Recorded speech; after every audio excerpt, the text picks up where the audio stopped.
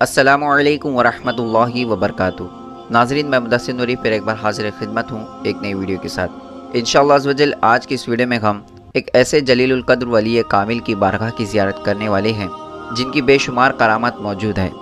जिनमें से एक करामत यह है कि आप रहमत ने अपनी हयाती में एक हबीस जिन को जलाकर राख कर दिया। जी हाँ नाजरीन, और आज भी आप रहमत की बारगाह में खबीस जिन्नात भूत प्रेत और शैतानी आसेब को निकाला जाता है। तो आज की इस वीडियो में हम आप रहमतुल्लाह ताला की इसी करामत के बारे में पूरी मालूम हासिल करेंगे और आपकी बारगाह की जियारत करेंगे। लेकिन नाजिन, इस वीडियो को शुरू करने से पहले आप सभी से गुजारिश है कि इस वीडियो को शुरू से आखिर तक ज़रूर देखें। और अगर अब तक आपने हमारे चैनल को सब्सक्राइब नहीं किया तो सब्सक्राइब कर लें। साथ ही जो बेल आइकन है, उसे भी क्लिक कर लें ताकि हमारे हर वीडियो की नोटिफिकेशन आपको मिलती रहे। और वीडियो पसंद आने की सूरत में इसे लाइक करके आगे शेयर ज़रूर करें। तो आइए इस वीडियो को शुरू करते हैं। तो नाजरीन, आज हम जिन वली कामिल की बारगाह की जियारत कर रहे हैं, इनका पूरा नाम हज़रत हाजी पीर कुर्बान अली शाह माहिमी रहमत है। आप रहमत बलंग पाकिस्तान से हिंदुस्तान की सरजमीन पर तशरीफ़ लाए, फिर आप रहमत का लखनऊ जाना हुआ, फिर जब आप रहमत को मुंबई आने का हुक्म हुआ तो आप रहमत मुंबई की सरजमीन पर तशरीफ़ लाए और यहीं रहकर सुकूनत इख्तियार की। और यहीं पर बैठकर अल्लाह की इबादत व रियाजत करते रहे। और कहा जाता है कि आप रहमतुल्लाहि ताला का नाम कुर्बान अली शाह वारिस पाक रहमतुल्लाहि ताला ने रखा है। आप रहमतुल्लाहि ताला के वालिद मोहतरम, वारिस पाक रहमतुल्लाहि ताला की बारगाह में हाजिर हुए और उनसे औलाद के लिए दुआ की दरख्वास्त की। तो वारिस पाक रहमतुल्लाहि ताला ने दुआ की और आप रहमतुल्लाहि ताला का नाम कुर्बान अली शाह रखा। आप रहमतुल्लाहि ताला को हिंदुस्तान आए हुए कमोबेश तैंतीस साल हो चुके हैं। और आप रहमत ताला हज़रत अबू बकर सिद्दीक रदी अल्लाह तु की नस्ल पाक से हैं। आप रहमतुल्लाहि ताला का विसाल 19 रजबुल मुरजब 1409 हिजरी बामुताबिक 26 फरवरी उन्नीस सौ अट्ठानवे को हुआ। आप रहमतुल्लाहि ताला की बेशुमार करामतों का ज़िक्र किया जाता है।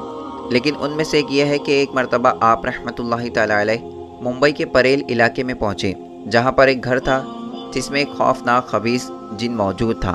और लोग उस घर के अंदर जाने से डरते थे, क्योंकि जो भी उस घर में रहने के लिए जाता तो वो खबीस उससे परेशान किया करता था। तो एक मरतबा आप रहमतुल्लाहि ताला वहाँ पहुँचे तो लोगों ने आपको वहाँ जाने से मना किया कि हज़रत वहाँ खबीस जिन है, जो कि परेशान करता है, आप ना जाएँ। लेकिन आप रहमतुल्लाहि ताला अल्लाह के वली हैं, इसलिए आपने अपनी वालिदा के साथ बिना किसी खौफ व ख़तरे के घर के अंदर चले गए।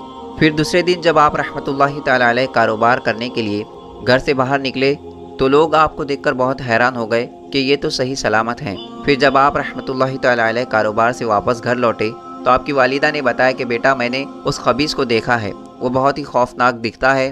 तो आप रहमतुल्लाहि ताला ने फरमाया, वो खबीस कब आता है? तो वालिदा ने कहा कि जब तुम इस घर से चले जाते हो, तब वो खबीस यहाँ पर आ जाता है। अल्लाह अकबर।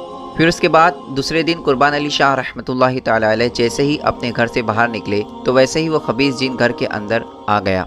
फिर जब आप ताला वहाँ वापस आए तो आपने अपनी वालिदा से पूछा कि कहाँ है वो खबीस? तो वालिदा ने फरमाया कि देखो, वहाँ बैठा हुआ है। तो आप रहमत ताला जलाल में आ गए और अपनी रूहानी ताकत से उसे जलाकर खाक कर दिया। सुबहान अल्लाह और नाजीन आज भी आप रहमतुल्लाहि ताला की बारगाह में खबीस, जिन्नात, भूत पिरे शैतानी, आसिब को दूर किया जाता है और अल्लाह ताला की बारगाह में आपके वसीले से मांगी जाने वाली हर दुआ कबूल होती है। और नाजीन हज़रत पीर कुर्बान अली शाह रहमतुल्लाहि ताला का आस्थान मुबारक मुंबई में माहिम कब्रिस्तान में मौजूद है। अल्लाह रब्बुल इज़्ज़त की बारगाह में दुआ है कि मौला तबारक ताली अपने हबीब सल्लल्लाहु अलैहि वसल्लम के सदक़े और हज़रत हाजी पीर कुर्बान अली शाह माहिमी रहमतुल्लाहि ताला और तमाम अलिया और अहल बैत के वसीले से हम सबको मुकम्मल इश्क रसूल अता फ़रमाए। हम सब के ईमान की हिफाजत फरमाए। हम सबको नेक अमल करने की तोफ़ी अता फ़रमाए। और जो लोग इस वीडियो को देख रहे हैं, उन सब की तमाम दिली जायज़ नेक तमन्ना, आरज़ू मुराद को पूरी अता फ़रमाएँ। और जिन लोगों ने भी मुझे दुआ के लिए कहा, मेरे व्यूवर्स, मेरे सब्सक्राइबर्स, मेरे दोस्त अहबाब और जो नाजरीन इस वीडियो को देख रहे हैं, उन सब की तमाम दिली जायज़ ने एक तमन्ना, आरज़ू मुरादों को पूरी अता फरमाएँ। और अल्लाह तबारक ताली की बारगाह में दुआ है कि हज़रत कुर्बान अली शाह रहमत ला के वसीले से जो लोग बीमार हैं, उन्हें मुकम्मल शिफा कामिल वाजिल अता फरमाएँ। और जो लोग परेशान हैं, जिनके घरों में परेशानियाँ हैं, उन सब की परेशानी को दूर अता फरमाएँ। और जो लोग कर्ज़ में डूबे हुए हैं, मकरूज़ हैं, उन्हें कर्ज़ से निजात अता फरमाएँ।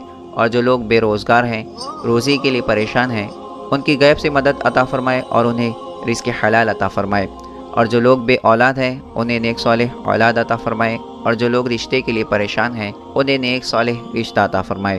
और जो लोग इस वीडियो को देख रहे हैं और इस दुआ में शामिल हैं और आमीन कह रहे हैं, इनका आमीन कहना अपनी बारगाह में कबूल मकबूल अता फ़रमाए। आमीन सुम आमीन। तो नाजीन इस वीडियो के नीचे कमेंट बॉक्स में एक बार आमीन ज़रूर लिख दें क्या पता किसका आमीन कहना, अल्लाह की बारगाह में कबूल हो जाए और हम सब की दुआएँ कबूल हो जाए। तो माशाल्लाह नाजीन उम्मीद करता हूँ कि आपको ये वीडियो पसंद आया होगा। वीडियो पसंद आए तो इस वीडियो को लाइक करके ज़्यादा से ज़्यादा शेयर करें और ऐसे ही वीडियोस के लिए अभी हमारे चैनल को सब्सक्राइब करें। फिर मिलते हैं ऐसे ही नॉलेजबल और इन्फॉर्मेटिव वीडियो के साथ। जब तक के लिए खुदा हाफिज़। असल वरहमल वर्का